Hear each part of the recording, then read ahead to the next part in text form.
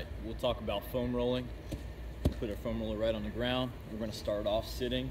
We'll start on the right side. We'll start everything on the right side um, and go down, then we'll switch to the left side. Let's just start nice and easy. Slow, we'll talk glute. Well, I'm thinking on the outside of my hip, okay, on that glute area. If I find a tender spot, I'm gonna slow down, spend a little bit more time in that area, and roll. I'm thinking 10, 15 seconds per area. In this case, just looking for potential areas that may be a little sore, a little tight, and I'm just kneading through that tissue. If I can, I'm gonna ideally try to attack it at the, the different uh, muscle areas at an angle, in this case 45 to about 90 degree angle with my foam roller. Okay, this is glute.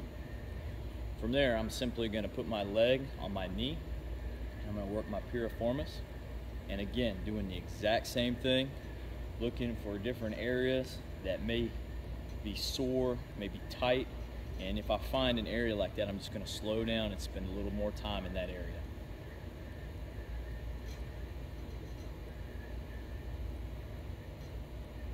Okay, from here, we'll go IT band. I'm not gonna spend a lot of time here, but we're gonna work a little bit on the top, all the way down to the top part of my knee, and then back. Whole time I'm working top to bottom, and a little bit front to back of that area.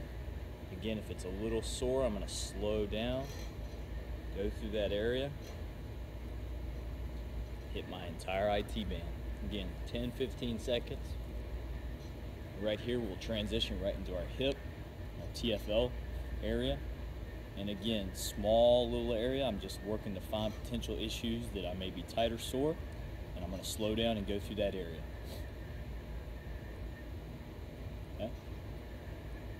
From here, I'm already on this, so I'm gonna slide to the edge of my roller and I'm gonna hit my quad. Again, from the outside to the inside, nice and slow, looking for different areas that may be sore to me today. And if I find it, find an area, I'll just slow down, knead through that tissue.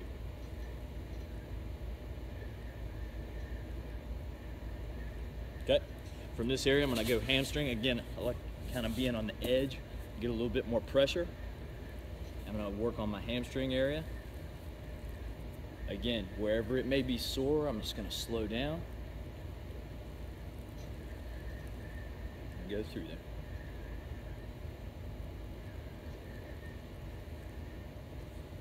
Working inside, outside of my hamstring.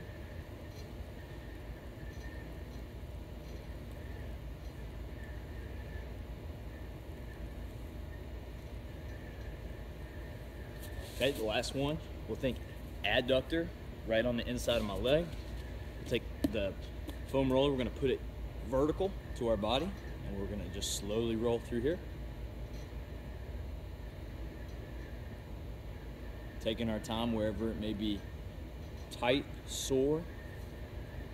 Whole time, just going as slow as I need to be, not trying to rush anything. Nice and easy. Okay, then move into the lower leg. We'll go calf. Again, I like kind of using the outside edge foam roller. I'm just gonna work across my legs, work on my calf. Again, I can work on the inside to the outside,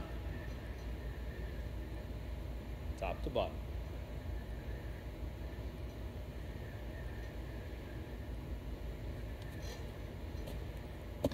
Lower body, foam roller.